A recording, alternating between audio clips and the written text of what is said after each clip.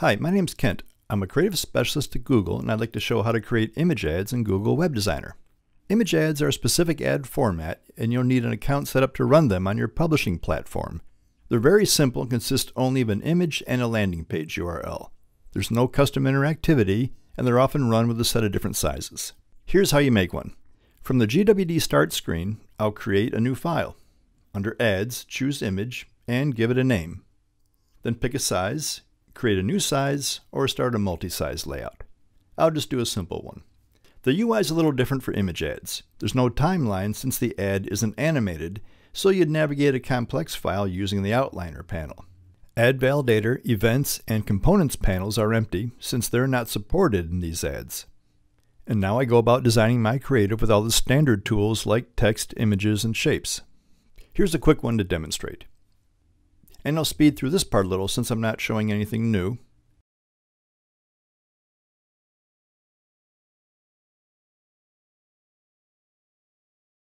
In general, with this format, I'll only be creating static images matching the ad sizes needed. The final output is an image.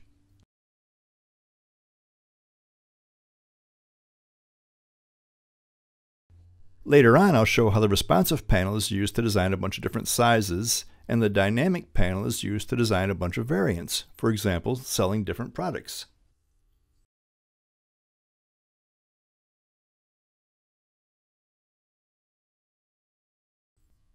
And when you're done, here's how you publish. You can push directly to either of these two environments if you have those accounts set up, and that's a real time saver when publishing multiple sizes at once, or choose locally, which saves to your computer. Now this panel includes some options for the image format. PNG here is the lossless version that gives you the full uncompressed quality, and JPEG makes a smaller file. You can check the results here, and zoom in to see the effects and change in file size based on the quality. Or you can go back to the dialog. I'll export, then open your project folder and find the final image. It's that simple. Now if I wanted some other sizes, back in my file, open the responsive panel and select multi-size layout. That's the same option we saw when creating a new blank file. And now I can select more sizes or create new ones. For example, I might do a leaderboard size. Again, I'll fast forward a bit through this routine part. And the thing I want to highlight here is responsive attributes, like using a different logo for this size. So select the element, and in the Properties panel, Image, Source, Browse to a new image. I'll then stretch it and make it taller.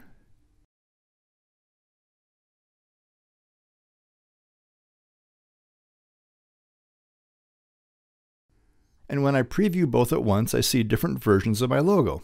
The advantage here is when working with a lot of sizes, like 40, it's convenient to keep all your work in a single file. Next, I want to show variants in the Dynamic panel. An example of this is creating a set of similar ads for different products. We're not really making a live dynamic ad, we're just using this interface to manage multiple designs. So to do that, I'll select the starting size and Edit Base Document, right-click the image and add a variant binding to the source. Then in your dynamic panel, switch to the Variants tab, create a new variant with the first icon. Let's call it Thermostat. Click the Edit icon and browse for another photo. And since I made this change on the base document, all sizes update at once. Then I'd change the headline and price in the same way. I now have four ads, two products, two sizes, and I can export them all with Publish locally. And now I see a variants menu where I can select all and export, then open up the folder again, and there's my four ads.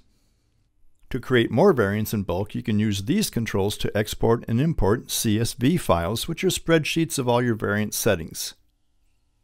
And one last thing to mention is that this works for most HTML5 creatives you already have you don't need to start with an image ad. And if you need a backup image for your campaign, this is a great way to make it. Here's an animated responsive ad in 40 sizes.